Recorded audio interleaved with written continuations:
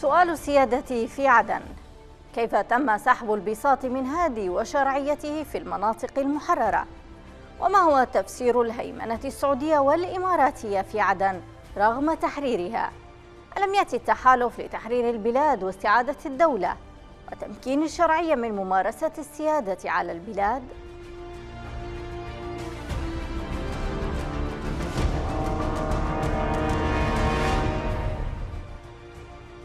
أهلا بكم. رجال إماراتيون وسعوديون يخوضون سباق السيطرة على المدن المحررة ومحاولات فرض الهيمنة والوجود على مربعات الشرعية. فجأة تحولت خارطة الأهداف وظهرت قيادة التحالف وكأنها تمارس نزاعا على السيطرة. فيما الحكومة تمارس موقف المتفرج على ما يحدث. وباتت البلاد مفتوحة على مصراعيها لقوات التحالف. باتت عدن محرمة على بعض الوزراء ومسؤولين في الدولة من يحكم عدن؟ أليس هو المسؤول المباشر عن كل الجرائم التي ترتكب فيها وعن كل ما يحدث فيها من إخفاقات؟ وزيرة إماراتية تجول في العاصمة المؤقتة عدن في الوقت الذي يمنع وزراء في الحكومة الشرعية التي يفترض أن التحالف جاء لدعم استعادة سلطتها من الانقلابيين من العودة إلى العاصمة المؤقتة للبلاد تقاسم للنفوذ والوجود بين السعودية والإمارات. صراع ناعم على أراض يمنية. بداية المشهد المتكرر جاءت بوصول السفير السعودي محمد آل جابر إلى مدينة عدن قبل يوم من عودة رئيس الحكومة معين عبد الملك إليها لإرسال رسائل تقول إن هذه الحكومة ورئيسها يحظيان باهتمام ورعاية سعودية خاصة. الرد الإماراتي لم يتأخر كثيرا. فبعد أقل من 24 ساعة من وصول الحكومة كانت وزيرة الدولة لشؤون التعاون الدولي ريما الهاشمي تصل إلى ميناء زيت في عدن وتجري سلسلة من اللقاءات بدأتها بلقاء رئيس الحكومة وعدد من الوزراء في الحكومة وجالت في مناطق المدينة الواقعة تحت سطوة القوات الإماراتية. قيام المسؤولين السعوديين والإماراتيين بالجولات الاستعراضية في العاصمة المؤقتة في الوقت الذي تبقى فيه الحكومة الشرعية رهينة قصر المعاشيق؟ يكشف عن رسائل يريد التحالف بعثها. ليس أقلها أنه هو المسيطر على الجغرافيا وعلى القوات والأمن ويرسم خريطة الخوف والدم ويستخدم ورقة الشرعية لإحكام قبضته على الأرض. عدن الغارقة في العنف المسيطر عليه من قبل التحالف كما تكشف العديد من التقارير الدولية آمنة لمسؤولي التحالف.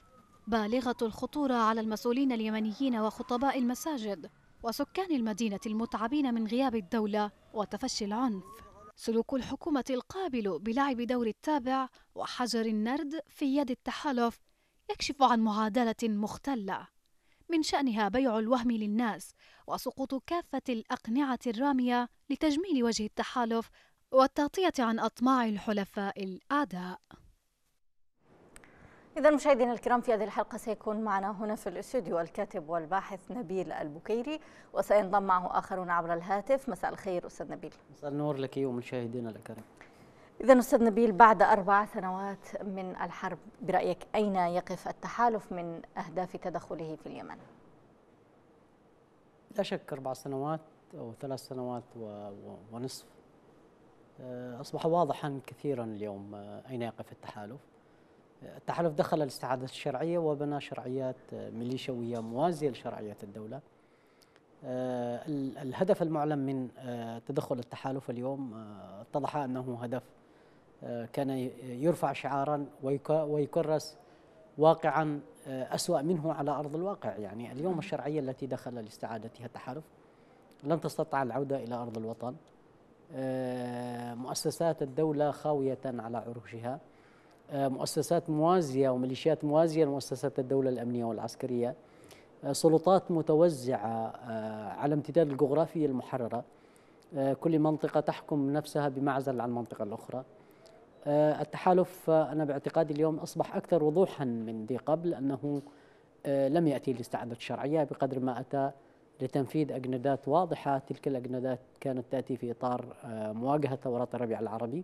واتضح الحال اليوم في اليمن. آه، أنه سعى لإجهاض ثورة التغيير ثورة 11 فبراير وتبنى آه، في سبيل ذلك استعان بميليشيات الحوثي في البداية وحاربها واليوم يستعين بميليشيات موازية لميليشيات الحوثي كميليشيات ما يسمى ب المجلس الانتقالي أو ما يسمى بميليشيات طارق صالح في الساحل الغربي. نحن أمام واقع اليوم أصبح أكثر وضوحا في ماهية المهمة التي أتى من أجلها التحالف لإنجازها وهي مهمة تفتيت الجغرافيا اليمنية وخلق شرعيات أمر واقع انقلابية على امتداد الجغرافيا اليمنية. نعم. إذا يعني ما هي مصلحة التحالف من عرقلة عودة الحكومة بهذا الشكل؟ يعني آه الذي أصبح آه كما تفضلت واضح. هو لا مصلحة يفترض أنه يعني آه نزولا آه وتماشيا مع الهدف المعلن أنه ليس من مصلحة التحالف أن يعمل على عرقلة السعادة الشرعية اليمنية. بالعكس أنه العمل على عرقلة السعادة الشرعية اليمنية هو يعمل بالضرورة ضد المعركة المعلنة للتحالف نفسه وبالتالي التحالف يحارب نفسه في هذا السياق.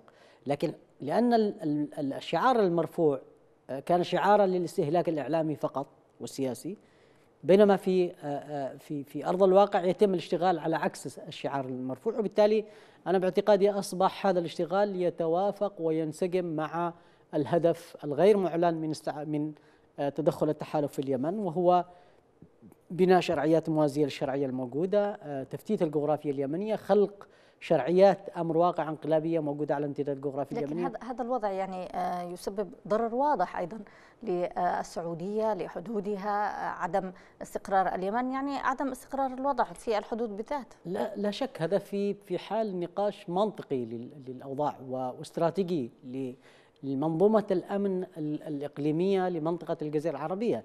ما يتم في اليمن هو تفتيت وضرب للبنى الاستراتيجية لمنظومة الأمن القومي العربي في منطقة الجزيرة العربية. ما يجري في اليمن هو استعداد لتقسيم الجغرافيا اليمنية هو استعداد لتفتيت النسيج الاجتماعي اليمني هو استعداد لخلق بيئة رخوة تنفذ من خلالها المشاريع الصغيرة سواء الطائفية أو الإرهابية أو القهوية والمناطقية التي تعتبر امتداد للنسيج الاجتماعي الموجود في عمان الموجود في المملكة الموجود في منطقة الخليج. وبالتالي آه، آه، جر اليمن وتمزيق اليمن بهذه الطريقة التي يتم إدارتها اليوم هي لا شك إنه ضرب لمنظومة الأمن القومي لمنطقة الجزيرة العربية وسينتقل هذا المرض وهذه العدوى وهذا العبث حتما سينتقل إلى الجغرافيا المقابلة وسيعبر الحدود لأنه ما يحصل في اليمن هو لن يحصل بمعزل عن النسيج الاجتماعي العربي والثقافي والجغرافي والقبلي والمذهبي الموجود في الجزيرة العربية. وبالتالي الخطورة اليوم والتي نتمنى أنه يعني أنه أنه في ناس تفكر بهذه الخطورة مثلا في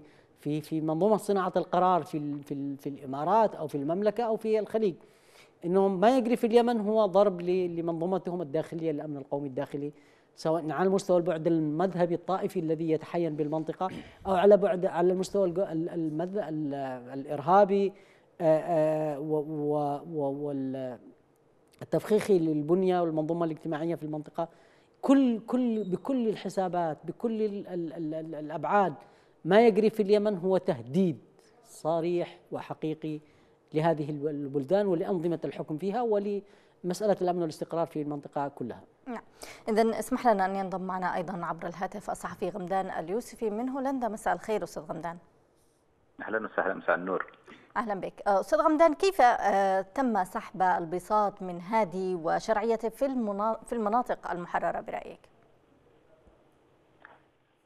آه، الإشكالية أنه يعني لم تكن سواء السعودية أو الإمارات مضطرة لأن تقوم بمثل هذه الخطوات للحصول على مكاسب. أعتقد أنه أيام النظام السابق أيام علي عبد الله صالح تحققت لها مثل هذه المكاسب وأكثر آه، يعني ببساطة وبخطوات شرعية وتمت هذه الخطوات الشرعية حتى عبر البرلمان يعني لم تكن محتاجة لقوة عسكرية لأجل تسيطر أو لأجل أن تأخذ 25 ألف كيلومتر مربع من الحدود اليمنية مثلا.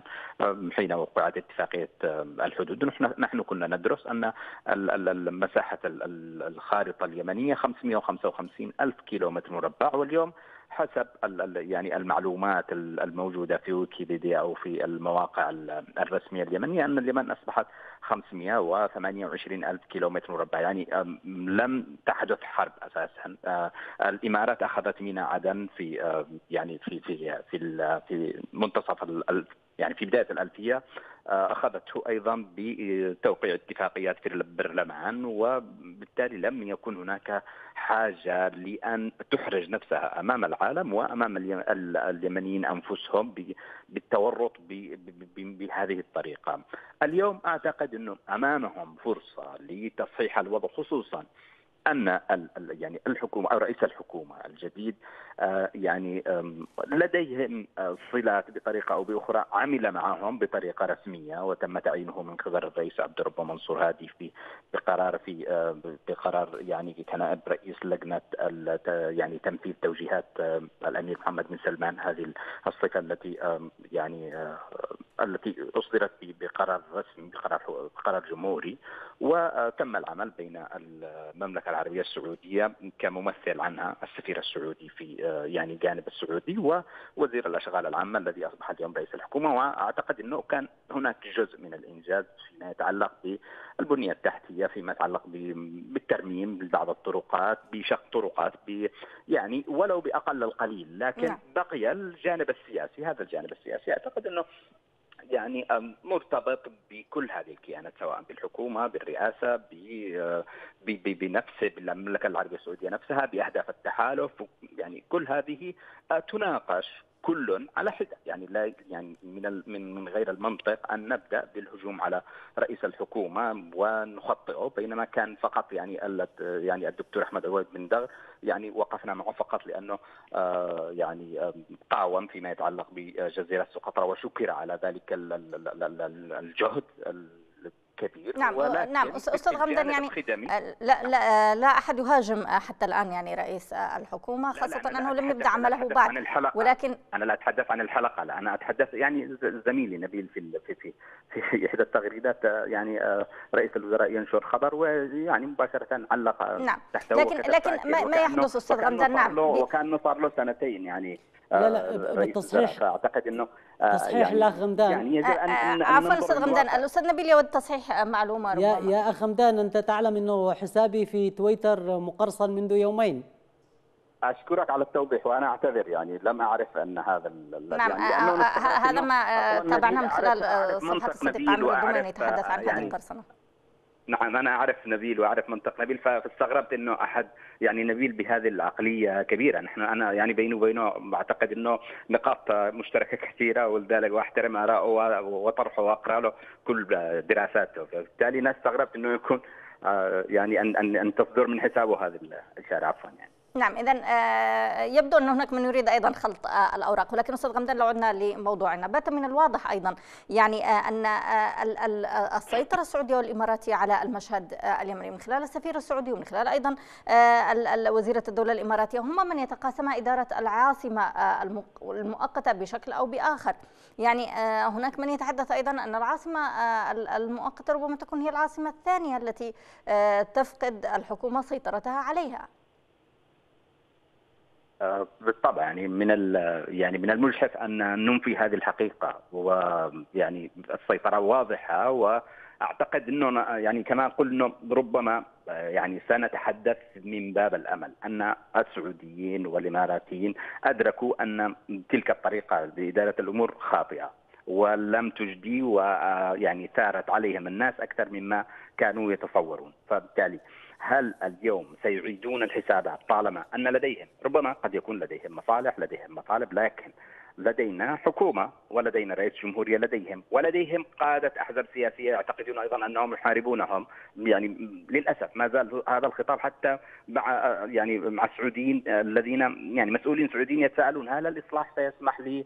لرئيس الوزراء أن يعمل. أن يا أخي الإصلاح في النهاية أو غيره من المكونات السياسية كلها موجودة في الرياض وليست موجودة في قطر أو كما أو كما يحلو لكم يعني مثل هذا الترويج. اليوم أمامهم المشهد و يعتقد إنه آه، يعني هم معنيين بإنجاح رئيس الوزراء ما لم تعتقد إنه هم يعني من يعني لا أعتقد إنهم سيجدون شخص ربما آه، قادر على الاستيعاب، قادر على التفاهم، قادر على نعم. التفاهم حتى معه مثل رئيس الوزراء الجديد. نعم. اذا آه، ابقى معنا أستاذ غمدان يعني أعود إلى الأستاذ نبيل. نعم أستاذ نبيل يعني آه، فعليا هناك من يلاحظ هذه الهيمنة وهذه السيطرة ولكن للأسف الشديد كلما يعني تم الحديث عن ذلك اعلاميا يتم مهاجمة من يتحدثون عن ذلك ورمي التهم والصفات التي ربما لا تليق على من يريد يعني نحن في البداية ربما أردنا للتحالف هذا الوجود وباركنا هذا الوجود ولكن بصورة معقولة لتحقيق أهدافه الذي أتى ليتحدث عنها. ولكن آه، يعني أن تسحب آه، آه، الشرعية بهذا الشكل وتأتي شرعية أخرى بالتأكيد لن يقبل بها أحد. عوضا عن تصحيح هذه الأخطاء نجد رمي التهم هنا وهناك. ما رأيك؟ أولا يعني المقدمات الواضحة تؤدي إلى نتائج واضحة. والمقدمات الصحيحة تؤدي إلى نتائج صحيحة.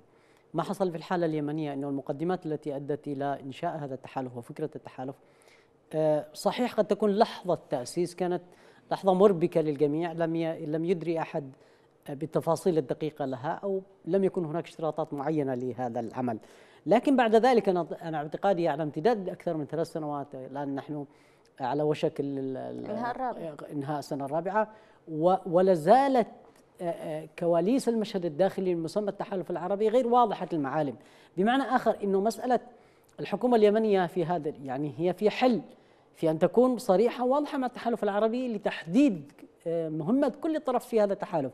نحن في اليمن آه، يعني في قلب المعركة التي تستهدف المنطقة كلها.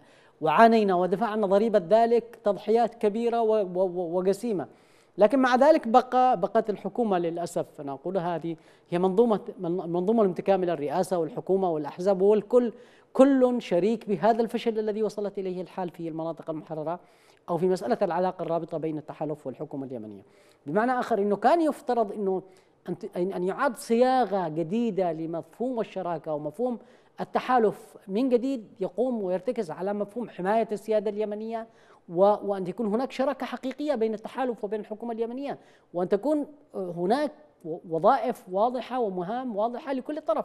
أما الآن أنا باعتقادي يعني أن تأتي مثلا الوزيرة الإماراتية ريمن الهاشمي وتزور عدن وكأنها بول بريمر ودون حسيب أو رقيب ولا ولا يعني يعني نحن أمام مسرحية هزلية فيما يعني وزراء في الحكومة وقادة مقاومة من الذين حرروا عدن آه، آه، لا يستطيعون العودة إلى عدن، رئيس الجمهورية لا يستطيع العودة إلى يعني أي منظومة للتحالف وللشراكه قائمة بين الحكومة الشرعية والتحالف، نحن أمام مسرحية مكشوفة، أنا باعتقادي إنه من المعيب بعد كل هذه الفترة أن نأتي ونبرر أنه هناك إشكاليات. طيب هذه الإشكاليات موجودة لكن هذه الإشكاليات ليست هي العائق الأكبر أمام وجود هذا الفراغ وهذه الفوضى الموجودة في, على مستوى انتهاك السيادة الوطنية على مستوى عدم يعني احترام لهذه السيادة وعدم احترام رموزها والسماح لهم بالعودة وممارسة أعمالهم.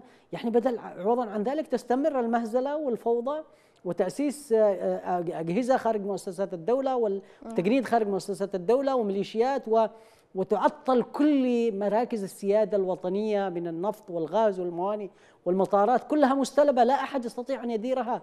يعني الحكومة عبارة عن لعبة في يد التحالف العربي يذهب إلى الرياض ويعود إلى عدن وفق أوامر ضابط في المخابرات السعودية ولا الإماراتية. نحن أمام أمام كارثة حقيقية يعني كارثة تصل إلى مرحلة يعني إنه أحيانا نحن الذين قمنا به يعني آه، آه، كيمنيين آه، خرجوا ضد هذا الانقلاب. اليوم أصبحوا في في في في في حيرة من الأمر. يعني إنه يصبح ممارسة التحالف العربي لا يختلف كثيرا عن ممارسة الميليشيات الانقلابية فيما يتعلق بالسيادة الوطنية، يعني نحن أمام معادلة صعبة اليوم، اليمني عندما ينظر هذه الممارسات التي تصيب سيادته وتصب دولته ويهان كرامته في أرضه يعني ماذا سيستطيع؟ ماذا كيف سيقارن ذلك كل ذلك مع ممارسه جماعة الحوثي؟ لا يختلف كثير ما يجري، وبالتالي أنا باعتقادي أيضا حتى لو نحمل التحالف الجزء الأكبر من هذا الفشل وهذا الإخفاق هناك جزء حقيقي ومسؤولية أخلاقية وتاريخية وطنية تتحملها المنظومة الحاكمة. منظومة الرئيس عبد الرب منصور هادي ومنظومة الحكومة والوزراء والأحزاب المشاركين في الحكومة. إذ لم ينهضوا لتصحيح هذا المسار ولهذه الفوضى ويوقفوا هذا العبث بمفهوم السيادة الوطنية أنا باعتقادي آه، فل فل فليصمتوا فليتنازلوا يتنحوا هناك آه، آه، من يستطيع أن يعيد للسيادة والكرامة اليمنية مكانتها ان, أن نعم. يشعر بهذا الغبن وهذا الصمت من من من المنظومة الحاكمة الحزبية وكلها أنا باعتقادي هذا لم يعد مفهوما ولم يعد منطقيا أيضا. نعم. اذا اسمح لنا نعود للاستاذ غمدان. أستاذ غمدان يعني اذا في ظل يعني تعيين رئيس آه، وزراء آه، جديد ولكن دون غطاء آه، سياسي واستقلال في القرار العسكري والأمني والاقتصادي أيضا ما هي الجدوى من ذلك؟ هل تتوقع أن يعني تمنح بعض الصلاحيات تدريجيا حتى يلمس المواطن بعض التغيير؟ والله حسب ما آه، يقرأ. أنه يعني اليوم لدينا كارثة إنسانية ربما هي التي ستقدم على كل الملفات. أعتقد أنه تلخبطت الأوراق فيما يتعلق بالمسألة العسكرية خصوصا مع القضايا المستجدات السياسية سواء التي يعني في المملكة كقضية الخاشي والتي يعني أعتقد أنه أثرت بشكل أو بآخر على على قراءة المشهد أو على على على يعني على الواقع العسكري بشكل عام واعتقد إنه هذا سيؤثر لفترة طويلة. أيضا هذه الإجراءات الدولية التي يعني يتم الترتيب لها حاليا من مشاورة جديدة وما إلى ذلك. ربما كلها يعني تصب في لخبطة أوراق المشهد للحكومة كلها. ف يعني كان ربما كانت الرسالة واضحة من رئيس الوزراء إنه في البداية لدينا ملفات اقتصادية. أعتقد حتى الاجتماع اليوم الذي آه يعني آه كأول اجتماع للحكومة كان في عدن وخرج يعني خرج التقرير الخاص بالاجتماع وهو متعلق كله في مسألة يعني تثبيت العملة و والتقليل من حجم السحب على المكشوف وما إلى هذه التفاصيل الاقتصادية التي ربما آه، كنا محتاجين لها في مرحلة من مراحل حين آه، حدثت كارثة الانهيار الكبير للدولار. ثم بعد ذلك يعني تبدأ الترتيبات الأمنية ترتيبات لا أدري آه، يعني مدى الجدوى ان أن تتم هذه الترتيبات خصوصا أنه الملف العسكري اعتقد أنه لدى رئيس الجمهورية ونائب الرئيس هم الذين يتواصلون مع يعني أو يديرون هذا الملف مع يعني يعني مع مع التحالف لكن يعني آه، إلى أي مدى يمكن أن تسير هذه الأمور بطريقة آه، جيدة؟ أعتقد قد يتم تحقيق إنجازات ولو بسيطة فيما يتعلق في بالملف الاقتصادي أو أو الإنساني أو الخدمي لنقول بشكل عام. آه، لكن أعتقد إنه الناس أيضا محتاجة لتحريك الملف السياسي. الإشكالية إنه يعني كما تحدث يعني آه، زميلي نبيل آه، أعتقد إنه يعني آه، أتى بتوصيف كامل للمشهد وأنا أتفق مع كل حرف قاله. ف لدينا أيضا أضيف إلى ما تحدث فيه إشكالية لا يوجد يعني قدرة ضغط على الحكومة، أنا لا أتحدث عن ضغوط إعلامية أو لا أتحدث عن عن عن كلام، أنا أتحدث عن قوة ضغط يفترض من الأطراف السياسية التي هي مشاركة في صنع القرار في اليمن، اليوم إذا آه، يعني إذا إذا عدنا للوراء فقط ثلاثة أو اربعه اسابيع أو شهر يعني آه، لم تستطع الأحزاب السياسية التي يفترض أن تكون قوة داعمة وقوة ضاغطة بنفس الوقت الحكومة، لم تستطيع أن تجتمع فقط على بيان واحد يحدد للحكومة بعض الخطوات التي يمكن أن تنفذ لتحريك هذا هذا الركود الذي حصل في في فترة حكومة يعني الدكتور بن داغر والذي وصل إلى مرحلة فقط إصدار قرارات تعيينات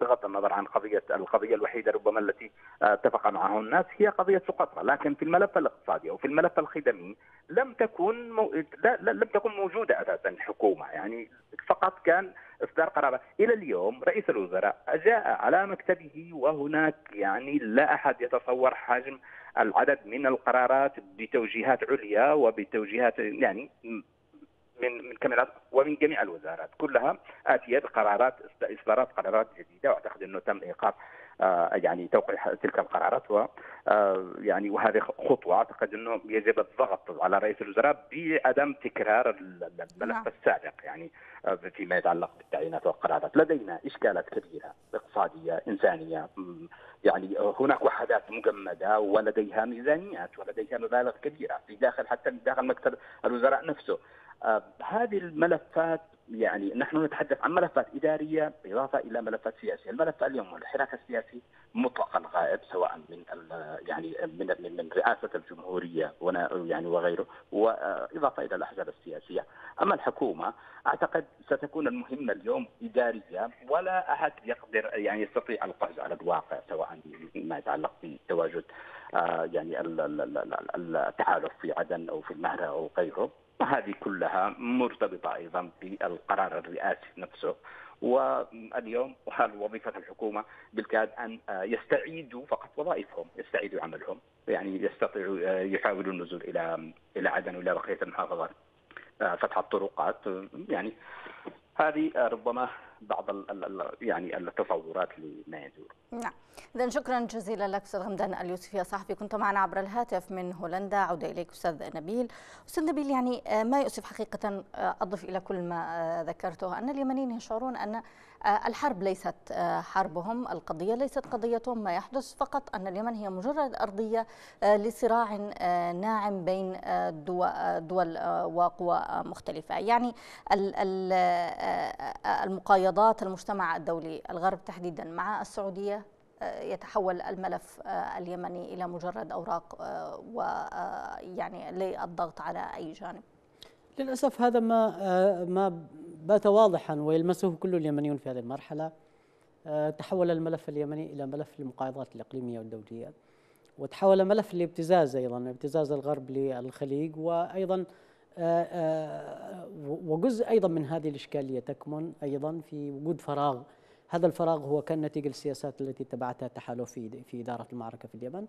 ونتيجة السياسات التي اتخذت من قبل الحكومة اليمنية من قبل الحكومة الشرعية في آه، مسألة تسليم كل الأوراق للتحالف مما سهل على التحالف في آه، آه، يقفز فوق مسألة السيادة الوطنية ويذهب بعيدا في تأسيس ميليشيات خارج إطار مؤسسات الدولة ويعمل على إيجاد أنظمة أو دعني أقول سلطة أمر واقع موجودة في هذه المناطق التي تحررت اليوم أيضا هذه الحرب التي يعني اليوم العالم يصيح لإيقافها هذه الحرب عندما يتحدث العالم اليوم عن إيقافها ولا ينظر لأسبابها بقدر ما ينظر للنتائج والتداعيات التي التي آه، أتت بها الحرب. وبالتالي هذا المنظور هو منظور خاطئ بالضرورة منظور ينظر إلى آه، آه، شعلة النار ولا ينظر إلى من أشعل هذه النار. وبالتالي أي حلول تذهب باتجاه إخماد هذه النار ولا تنظر للجذور التي أتت منها هذه النار ستبقى حلول مجتزأة حلول مختزلة حلول تؤجل آه، آه، آه، المعركة أكثر من أن تعمل على إيقافها. وبالتالي مثل هذا المنظور الخاطئ في في في توصيف الأزمة اليمنية التي أعتقد كان أقرب توصيف لها هو القرار 2216 في الحديث عن وجود انقلاب على شرعية منتخبة وشرعية معترف بها دوليا وأن الحلول تكمن في إسقاط هذا الانقلاب معنا سحب الميليشيات تسليم الأسلحة استعادة العملية السياسية.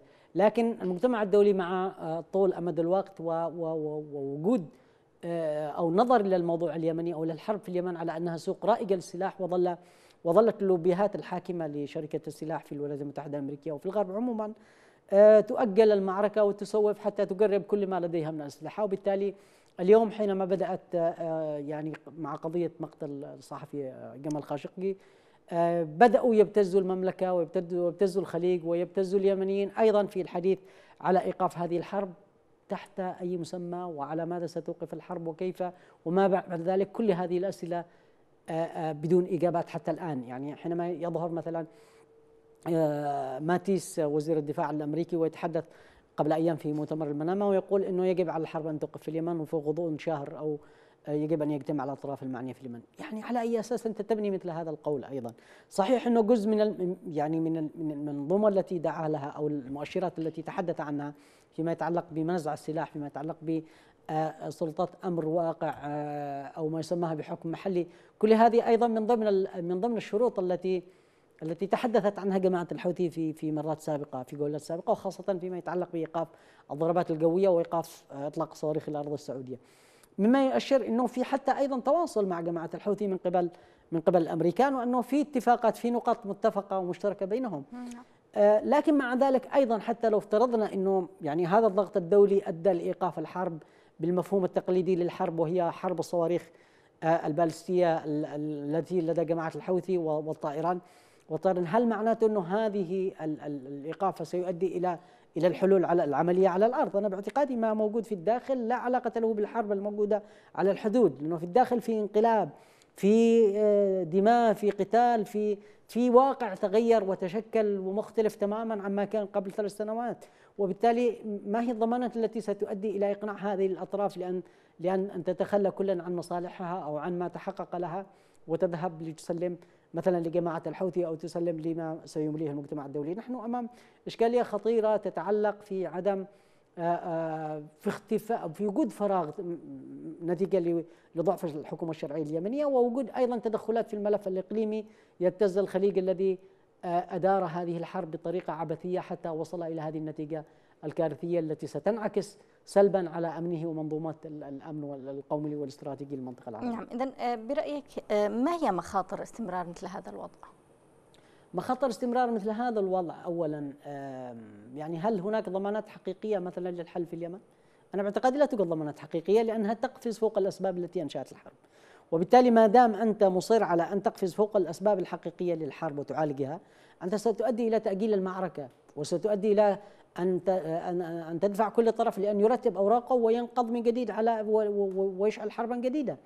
يعني مثلا الآن الواقع الذي المشكل في اليمن المواقع الداخلي هناك سلطات متعددة اليوم يعني بفعل هذه السياسات الكارثية للتحالف وبفعل أيضا فشل الشرعية في إدارة مناطقها آه، أدى إلى وجود سلطات مختلفة، كل منطقة تدار بطريقة معينة تعز لها إدارة معينة، المناطق الساحلية الغربية لها إدارة معينة، الجنوب آه، جزء منه يدار بطريقة معينة، عدن بطريقة معينة، مارب بطريقة معينة، هذه كل هذه هذا التشظي في إدارة في في في في تفتيت مفهوم السيادة الوطنية ومفهوم الحكومة الشرعية أنا باعتقادي ليس في صالح الخليج ولا في صالح اليمن نعم. ولا في صالح أي طرف وبالتالي ستبقى الاختلال الداخلي موجود وخاصة حتى الرؤية التي يقدمها الطرف الأمريكي فيما يتعلق بالحكم الذاتي أنا باعتقادي هذا تجاوز وتدخل خطير في مفهوم السيادة الوطنية وأيضا يعمل على على استدامة الحرب و نعم. وإيجاد أسباب جديدة لها بالتالي هذه نعم. كارثة كبيرة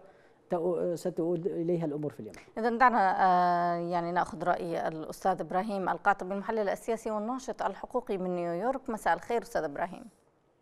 أهلا وسهلا مساء النور لك ولمشاهدينك الكرام. أهلا بك، اذا بداية ما هو تفسيرك أستاذ إبراهيم للهيمنة السعودية والإماراتية في عدن رغم تحريرها؟ أنا في اعتقادي أن الأمور أصبحت واضحة آه، بعد ثلاث سنوات من الحرب آه، أن الهدف الحقيقي آه، آه، للإمارات والسعودية هو السيطرة على كل ما هو يمني على الأرض والمنافذ الدولية والتاكد أن اليمن لن تصبح قوة اقتصادية كما حصل في في النهضه التركية وأنها تصبح منافسة مستقبلا وبحيث لا تكون لا قوة عسكرية ولا قوة اقتصادية والأمور هذه أصبحت واضحة. عندما استهدفت عند بداية الحرب آه، آه، استهدفت آه، استهدف التحالف العربي بقيادة السعودية والإمارات كل المعسكرات اليمنية بما فيها سلاح الطيران الحرس الجمهوري كل المعسكرات كل الأسلحة وتم تدميرها تدميرا كامل. وهذا يوضح أن هناك كانت خطة مسبقا لتدمير كل القوى العسكرية لليمن. آه، وتم استهداف العسكر استهداف البنى التحتية استهداف الجزر استهداف الموانئ. آه، لم يركزوا على مثلا محاولة التحرير أو محاولة تحرير اليمن من من انقلاب الحوثي.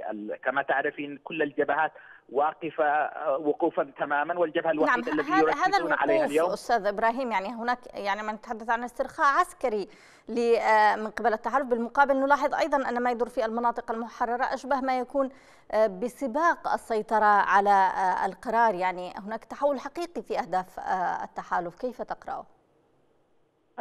زي ما ذكرت لك لم يكن تحولا وإنما أصبح جليا واضحا لأعيان العامة. كان استهدافهم منذ اللحظة الأولى فقط استخدام ورقة الشرعية كورقة فقط وليس كمؤسسة كاملة. هناك تم تقويض مؤسسات الشرعية في المحافظات الذي مفترض أن تكون محررة. تم إنشاء ميليشيات باسم النخب في من من من شبوة مرورا بحضرموت مرورا بعدن وتم أيضا آه، آه، آه، يعني تدمير كل ما للبنيه التحتية من الموانئ لا يعمل. لا تعمل أي موانئ في اليمن، الاستيلاء على المنشآت النفطية والمراكز الحساسة، أيضا ذهبوا إلى أبعد من ذلك إلى الاستيلاء. واحتلال جزيرة سقطرى وإخراج حتى. يعني الحكومة الشرعية من المنافذ هناك من المطار ومن. من البحر. هناك أصبحت هناك حاجز استعلائي من قبل الإمارات وال وال وال والسعودية يرون أن في اليمن في حال استقر الوضع هناك هناك تحول سياسي ديمقراطي هناك ربما تصبح اليمن هي الدولة المنافسة للخليج من حيث الديمقراطية من حيث المكانة الاستراتيجية في العالم من حيث أنها قابلة لأن يكون لها تطور كبير من الناحية الاقتصادية من ناحية نعم. النفوذ موقعها الجغرافي لها كثير من من من التجار ورؤوس الأموال في الخارج يمكن أن يعودون لبناء الوطن. فلذلك في القرارات الدولية وفي السياسة الدولية كل بلد يحاول إضعاف محيطه وجواره وهذا ما يحصل في السياسة الدولية. نعم اذا في في ظل ذلك يريدون أستاذ إبراهيم يعني فيما يبدو هذا السباق بين السعودية والإمارات على فرض السيطرة في المناطق المحررة، ما الذي بوسع الحكومة الشرعية القيام به؟ أنا في اعتقادي لا يوجد سباق بين ال بين بين ال بين ال آه الإمارات والسعودية، كل واحد يكمل دور الآخر، السعودية أحيانا لا تريد الاحتكاك بشكل مباشر مع المواطنين مع القبائل فلذلك تعطي ذلك الملف وإنشاء الميليشيات تعطيها للإمارات تقوم بالدور القذر الإمارات وكأن لأنها بعيدة عن الجغرافيا اليمنية وفي حال حصل أي خطأ من قبل القوات الإماراتية أو من مشاريع تقوم السعودية في التدخل وهناك مثلا واضحا عندما حاول الشعب اليمني وحاولت الحكومة اليمنية إخراج القوات الإماراتية ودباباتها من سقطرى أتت السعودية كوسيط ودخلت بقوات عسكرية ومن ثم نعم. أصبحت هي بقواعدها العسكرية بجانب القواعد العسكرية الإماراتية في في سقطرى وفي وفي آه، آه، آه، المهرة على سبيل المثال نعم المشكلة في الحكومة الشرعية أنا في اعتقادي أن قد سقطت كل أوراق الشرعية على الأرض وهذا نعم. إذا شكرا جزيلا لك أستاذ إبراهيم القعطبي المحلل السياسي والناشط الحقوقي. كنت معنا عبر الهاتف من نيويورك. عودة آه، لك أستاذ نبيل. يعني هناك آه، يعني في ظل صمت آه، الشرعية إلى هذا الحد وهناك من يصفها بأنها تتحول لماكينة غسل أخطاء التحالف الكارثية. هناك من يتساءل أيضا لما لا تبحث الحكومة الشرعية عن حلفاء جدد يعني على الأقل لخلق نوع من التوازن في المشهد السياسي والعسكري؟ باعتقادي الحكومة الشرعية لا تحتاج إلى أن تبحث عن حلفاء بحاجة أن تعود إلى الداخل بحاجة أن تعود آه، إلى أن تتحالف مع مع شعبها الذي منحها الشرعية. والذي لا زال بعد كل هذا الفشل آه، يؤمل خيرا فيها في أن تنهض وأن تتحرك وأن تخاطب العالم بما بما يجري في الداخل اليمني. أنا باعتقادي أنه هذا الصمت الذي يضم آه، حالة الأداء الفاشل والرتيب لهذه الحكومة مسؤوليها لسفاراتها لكل ما له علاقة بهذه الحكومة. كله يؤدي أو يقوم بفشل واضح وكبير وبالتالي ليس مطلوب منهم اليوم أن أن أن أن, أن يفكوا هذا التحالف بقدر المطلوب منهم أن يواجهوا هذا التحالف بأخطائه ويقولوا له إنك أخطأت وأن هناك إشكالية خطيرة فيما يتعلق بخروج بالخروج عن عن المتفق عليه عن النص المسموح لك به في الداخل اليمني. وبالتالي أما أن تصمت يعني يعني انتهاك مسألة السيادة اليمنية أنا باعتقادي إنه ما حدث بجزيرة سقطرى في الأشهر القليلة الماضية. آه، آه، وتلك الحملة التي شنها ناشطون يمنيون في وسائل التواصل الاجتماعي نعم. التي آه، أدت إلى إلى إلى هزت مكانة التحالف وأربكتهم وجعلتهم يعيدون الاعتبار لمسألة السيادة اليمنية. اليوم وهذا نشاط بسيط مجرد من من في وسائل التواصل الاجتماعي. كيف إذا كان هذا النشاط قائم من قبل وزراء في حكومة الشرعية من قبل مسؤولين كبار يخرجون يقولون للرأي العام الذي يجري. أما هذا الصمت ومقايضة استلام رواتبهم من خزينة الدولة مقابل هذا الصمت المخزي أنا باعتقادي لم يعد هذا الصمت آه، آه، مجديا ولم يعد مقبولا ولا مستحسنا. وخاصة حينما نرى أن هذه الرواتب التي يستلمونها هي من نفط اليمنيين ومن دمائهم ومن عرقهم ومن رواتب ومن رواتبهم ومن آه، آه، آه، أيضا جماركهم وضرائبهم وبالتالي هي ليست منة من أحد. يجب أن يعلموا أن هذه الرواتب التي تصرف لهم هي من من من رواتب من من قوت اليمنيين وأنها ليست منا لا من الإمارات ولا من المملكة العربية السعودية. وبالتالي هذا الصمت الذي يقايضون به هذه الأخطاء الكارثية سيتحول إلى لعنة عليهم تلاحقهم مدى الدهر. اليوم نحن بحاجة إلى مسؤولين يخرجوا يقولوا للناس ما الذي يجري؟ نحن لا نريد منهم أن يحملوا البندقية ويذهبون إلى الجبهات للقتال. نحن نطلب منهم أن يحللوا هذه الرواتب الباهظة التي يأكلونها حراما دون أن يقوموا بأي جهد. وهم في في في شقائقهم الفارهة في عواصم الدول العربية. اليوم مطلوب منهم تصريح وكلام يقول للناس إنه واحد اثنين ثلاثة. ما يجري غير صحيح. ما يجري آه، آه، انتهاك للسياده اليمنية ما يجري نحن غير قابلين به. أما أن يصمتوا أمام هذه الانتهاكات وأمام هذا هذا العبث بالقضية الوطنية وبالسيادة الوطنية هذا لم يعد مسموحا به ولم يعد مرغوبا. وأنا باعتقادي إنه الشعب وصل اليوم إلى مرحلة الوعي التام أن هذه الشرعية وصلت إلى مرحلة الخيانة لقضيتها وأمانتها ورسالتها التي قامت بها. نعم إذا شكرا جزيلا لك نبيل البكيري الكاتب والباحث. كنت معنا في هذه الحلقة من المساء اليمني. أشكركم أيضا مشاهدينا الكرام لحسن متابعتكم. لأن ألتقيكم في مساء يمني جديد. كونوا برعاية الله وأمنه.